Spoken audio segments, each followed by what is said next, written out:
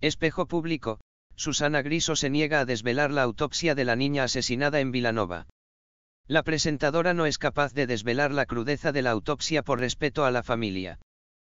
El lunes, 4 de junio, la niña Laya, tras salir de casa de sus abuelos, fue interceptada por un vecino que la metió en su piso y la asesinó, entre otras cosas. En el programa Espejo Público hablaron sobre ello, pero Susana Griso no fue capaz de revelar los detalles de la autopsia porque le parecían desgarradores, y prefería mantener al margen esa información por respeto a la familia.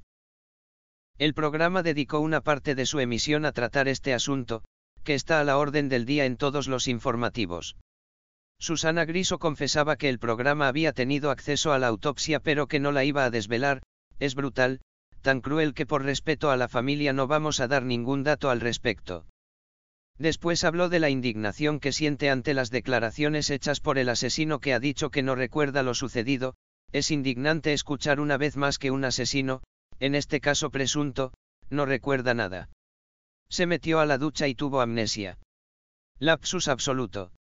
Lo que sí han confirmado es que tiene una doble imputación pendiente, la primera por asesinato y la segunda por agresión sexual.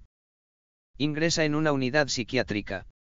El acusado de matar a la menor ha ingresado este viernes, 8 de junio, en la unidad hospitalaria psiquiátrica de la cárcel de Bryans, a raíz de un examen médico que ha llevado a cabo un psiquiatra de la cárcel en la que acaba de ingresar. Antes de que se le tomara declaración la magistrada realizó una exploración forense para determinar si estaba en condiciones de hacerlo, finalmente se resolvió como que sí estaba en condiciones.